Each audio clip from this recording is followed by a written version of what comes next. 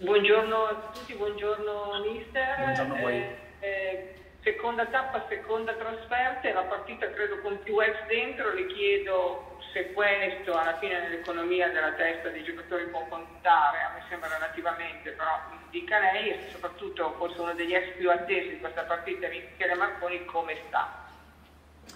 Ma innanzitutto ci dispiace oggi preparare una partita di nuovo in trasferta perché in un calendario normale eh, avremmo dovuto giocarla in casa, eh, ma per vicissitudini di organizzazione a livello di stadio eh,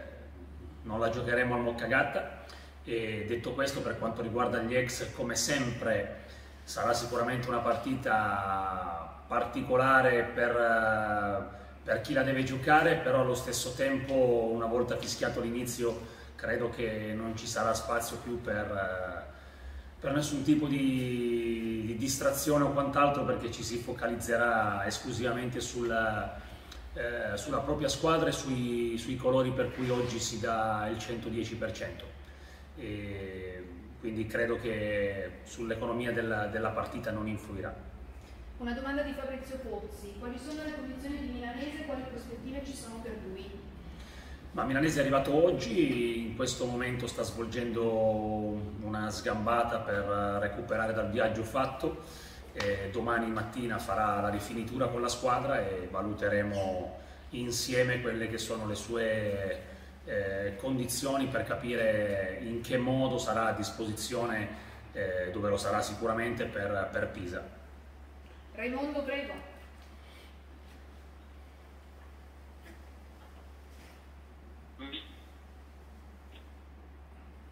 No, non ti sentiamo.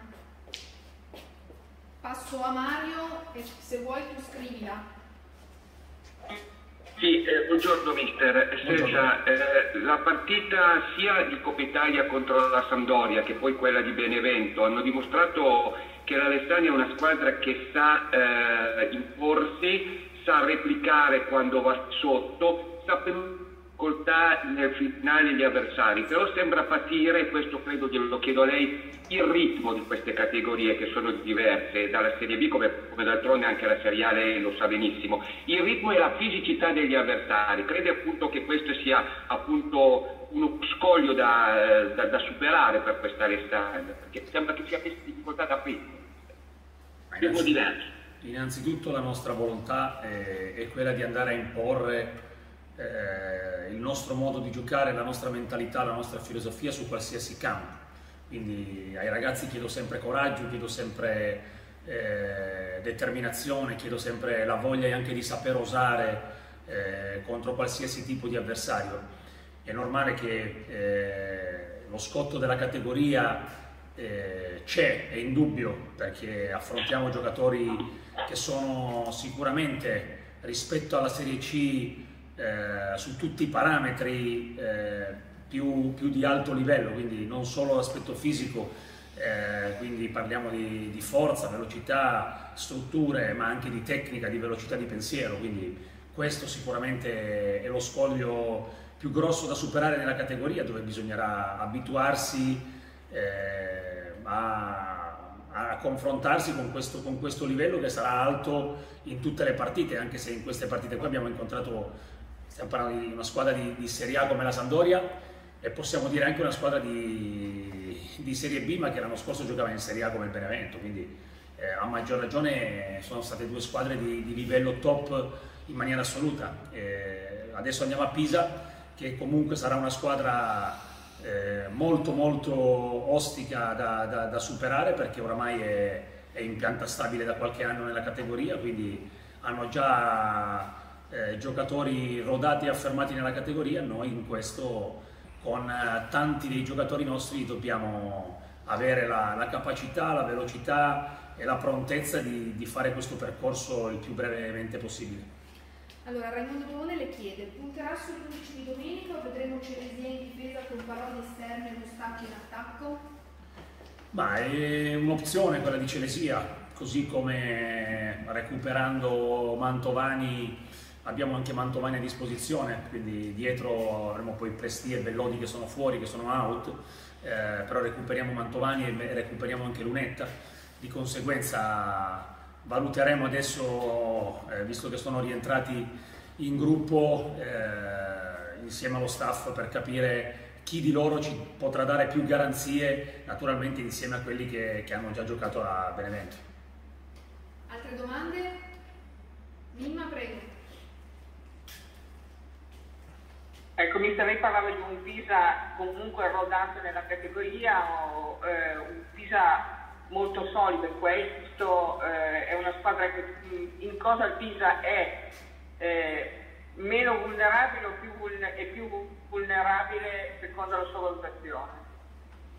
Ma io credo che il Pisa sia squadra eh, ben organizzata, con eh, qualche valore anche importante nei singoli, ha, ha caratteristiche complete per quelle che sono la caratteristica del campionato, perché ha giocatori abili nell'uno contro uno come, come possono essere eh, Marsura e Sibilli, allo stesso tempo ha un centrocampo comunque eh, fatto sia di tecnica che di qualità perché eh, Marin, Gucker e Turesi si complementano nelle proprie, nelle proprie caratteristiche, quindi una squadra che direi completa, che ha avuto la possibilità anche negli anni di strutturarsi. Adesso ha messo dentro un giovane di grandissime prospettive come come Lucca, che, dove, su, su, cui è stato fatto un investimento veramente importante, quindi eh, io non vedo eh, grandi punti deboli nel Pisa se non eh, il fatto di, eh, da parte nostra di continuare a lavorare su quella che è la nostra identità e sul limare quelle cose che eh, che sappiamo di dover limare, vedi qualche errore tecnico in meno rispetto alla partita di Benevento, perché nonostante il Benevento secondo me sia squadra di livello veramente molto alto, eh, in parecchi dei gol eh, c'è, un errore grossolano da parte nostra che ha innescato e dato la possibilità al Benevento di far gol, quindi a capire che in questa categoria eh, i dettagli sono importanti e di conseguenza eh, l'attenzione dovrà essere massimale perché rispetto alla Serie C quando sbagli in questa categoria nella maggior parte delle, delle volte paghi. Massimo Decino le chiede che, che Pisa si aspetta visto che D'Angelo è sempre stato un fautore del 3-5-2 ma domenica ha giocato a 4 e col trequartista dietro le punte. Ma eh, è normale che il Pisa ha avuto più modi di giocare, nell'ultima partita ha giocato con una difesa a 4 eh, con tre centrocampisti, con Sibilli dietro l'unica punta e con Marsura aperto sulla riga, quindi eh, questa è la fisionomia delle ultime gare. Poi è normale che ogni allenatore è libero di poter cambiare anche la settimana precedente ad una partita e noi dovremmo essere pronti nel caso in cui loro dovessero cambiare, però io credo che, che il Pisa manterrà quello che è il, è il suo modo di, di, di giocare eh, consueto nelle, nelle ultime gare. Altre domande? Mimma? E poi Mario. Eh, mister, domenica Benevento comunque c'erano 50 tifosi, credo che ce ne saranno di più eh, a Pisa venerdì, ma in generale che effetto ha fatto a lei e alla squadra ritrovare, entrare in uno stadio, seppur grande come era Vigorito, con la gente, cioè sentire la gente... Eh, vicino come mancava di fatto, Alessandria era vissuta con i playoff, ma eh, mancava da tantissimo tempo. Ma sicuramente è un gran bell'effetto, eh, noi ringraziamo tutte le persone, tutti i nostri tifosi che ci hanno seguito eh, a Benevento, ma sono sicuro anche quelli che ci hanno seguito da casa. Eh, in questa stagione eh, io credo che il popolo grigio possa essere davvero un'arma importante per, per noi eh, anzi mi piacerebbe proprio che entrassero tutti nell'ottica di, di, dover sostenere questa, questa Alessandria, di godersi davvero tutti quanti insieme questa categoria dalla prima giornata come è stato fino, fino all'ultima per cercare di raggiungere questo obiettivo tutti insieme perché eh, secondo me il Moccagatta deve diventare per noi un fortino importante dove la spinta dei nostri tifosi eh, dovrà essere un valore aggiunto per tutti. Mario?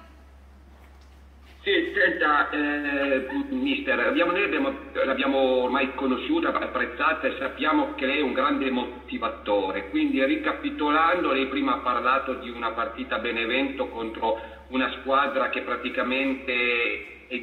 l'anno scorso era in Serie A. Allora, quando possiamo pensare che possa incominciare veramente il campionato dell'Alessandria, capace di esprimere quelle che sono le sue potenzialità questa squadra, già da Pisa allora?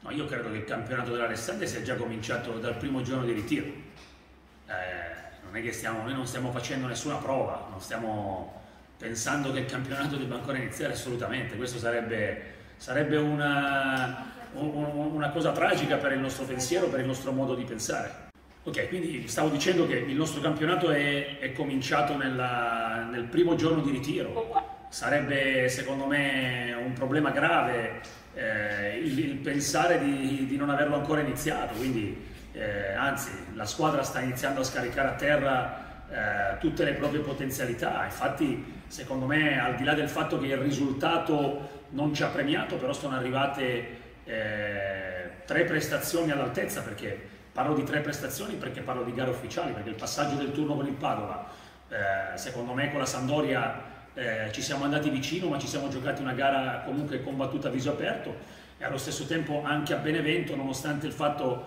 eh, che il risultato non sia venuto, io credo che l'Alessandria abbia dimostrato di, di, poter stare in questa categoria, di avere le armi per poter mettere in difficoltà chiunque, naturalmente al netto di limare quelle che sono tutte quelle dinamiche che sappiamo di dover mettere dentro. Bene, se ci sono altre domande, Mimmo ancora una domanda, prego. Ecco, lei ha detto quindi il recupero eh, di disponibilità, ci sono a disposizione Lunetta e Mantovani e magari un minutaggio superiore di qualcuno oppure no? Ma è, è, normale che man mano che passano i giorni il minutaggio di chi ha bisogno di lavorare eh, sicuramente può migliorare, però purtroppo questa è una settimana corta dalla partita di Benevento eh, praticamente ci sono stati due allenamenti e di conseguenza non è che si può fare eh, chissà che cosa in quel pochissimo tempo. Quindi io credo che dopo la sosta il minutaggio di quelli che sono arrivati potrà essere un minutaggio più consistente, la loro condizione potrà migliorare in maniera più corposa. Oggi dobbiamo fare di necessità virtù e, e cercare assolutamente di dargli continuità, di cercare di fargli trovare la condizione anche a volte facendo scampoli di partita o mettendo dentro del minutaggio, ma soprattutto eh, centellinarli nella maniera giusta, evitando anche qualsiasi tipo di problematica. Bene, se non abbiamo altri interventi, concludiamo qui la conferenza stampa e ci rivediamo dopo la partita di Pisa. Grazie e buona giornata a tutti. Grazie a voi. Grazie.